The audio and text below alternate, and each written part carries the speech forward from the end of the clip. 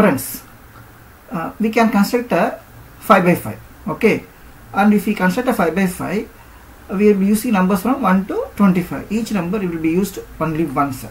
And uh, the magic sum for the 5 by 5 will be 65 for all the rows all the columns and two diagonals okay? If we the 65 will be there only if you we use numbers from uh, 1 to 25 suppose we are going to skip certain numbers say for example uh, 5 into 5 means 25 what are the divisors of 5 we don't have much of the divisors. We have only 5 as the divisor okay? Suppose we add certain number a particular number uh, after every 5 numbers in the progression what will be the magic square like? Okay that we will see now. So, suppose so this is 1 okay?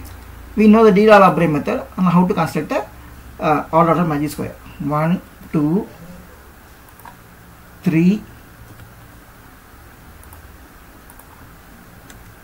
4 5 now we know we cannot go this way. So come down. Here we have to put 6 okay. So instead of 6 we put here 55 we are adding 50 to this 5 okay. So here we put 55 and again progress as though it is a regular uh, construction of magic square. 55 56 57 and then once you reach 57 you come here 58 okay once you reach uh, 58 here come back here. Put 59 okay now you cannot you can go no further here since there is a number here. So add 50 to this 59 so that is 109 109 so keep on adding next number. Okay 110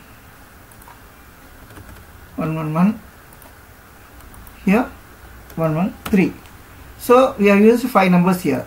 So next we have to put number 114 here.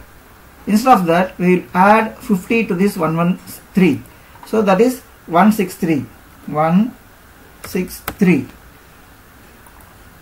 164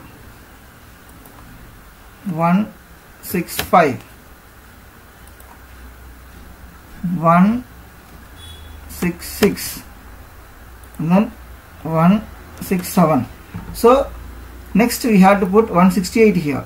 Instead of 168 you add 50 to this 167 so that means that 217 217 218 219 220 then two to one. so now you see the number magic sum. Magic sum is triple five. Okay? So so this is one way this is one way of amusement. So instead of uh, doing it in uh, 5 by 5 if you are going to do it in a uh, even order magic square like uh, 4 by 4 or 8 by 8 there are a lot of many possibilities there we'll we'll check that also okay? Now i hope you have understand understood this. We will see about that in another video. To subscribe to this youtube channel kindly press the subscribe button. And to get the notifications for about the new videos kindly press the bell icon